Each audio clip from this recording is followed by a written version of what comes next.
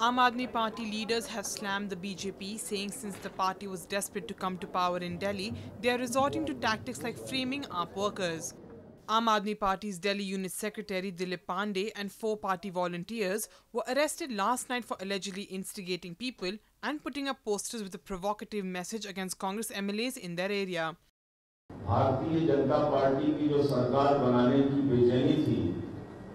उस बेचैनी का भंडाफोड़ करने की वजह से भारतीय जनता पार्टी पूरी तरह से बौखला गई है। और बदले की भावना के तहत आम आदमी पार्टी के नेता, पार्टी के प्रदेश के दिल्ली के सचिव दिलीप पांडे के खिलाफ कार्रवाई की गई है। उनको गिरफ़्तार किया गया है। और ये गुजरात सरकार की स्टाइल ऑफ़ फंक्शनिंग जो रही है अब तक, वो दिल्ली में भी मोदी सरकार लागू करना चाहती है। इसी तरह से गुजरात में निर्दोषों को फर्जी पकड़ के बंद किया जाता रहा है उनका इनकाउंटर किया जाता रहा है उनको मारपीट के फर्जी मामलों में फंसा के सालों साल जेलों में सड़ाने का काम किया जाता रहा है The BJP has served a legal notice to Kejriwal accusing him of causing mental agony, harassment and defamation by accusing the party of horse trading.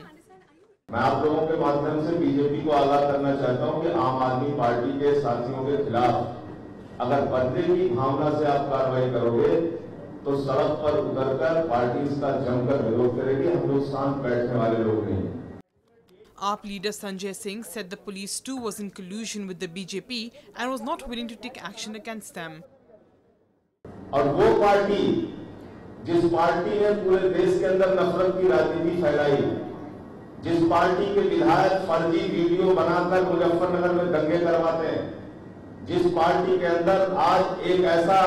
मंत्री संजीव बाल्यान बैठा हुआ है जो दंगे का आरोपी है, जिस पार्टी ने पिछले अपने सारे इतिहास में पचास और सैकड़ों उदाहरण ऐसे हैं जहाँ वो नफरत की राजनीति फैलाने का काम करते हैं। पूरे चुनाव में मुझे याद है, बनारस से लेकर दिल्ली तक में सीआईए का एजेंट और क्या क्या पोस्टर हम लोगों के खिलाफ छपवाए गए बंटवाए गए। आज जो पार्टी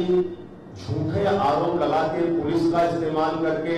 और पुलिस के अधिकारियों ने दबी ज़ुबान में हमें बताया कि ऊपर से आदेश है,